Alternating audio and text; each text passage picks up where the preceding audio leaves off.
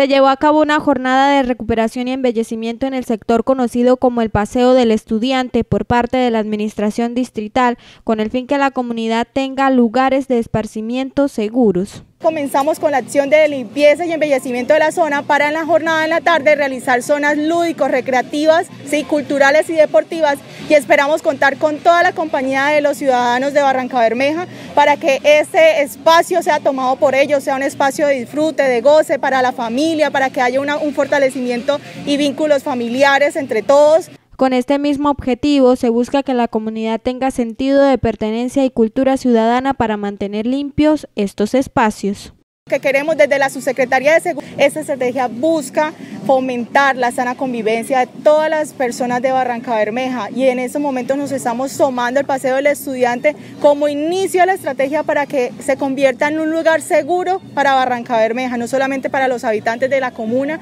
Actividades como esta se seguirán llevando a cabo en la ciudad. Esta jornada contó con el apoyo de la comunidad, de bomberos voluntarios de Barranca Bermeja, Defensa Civil y otras entidades de la ciudad.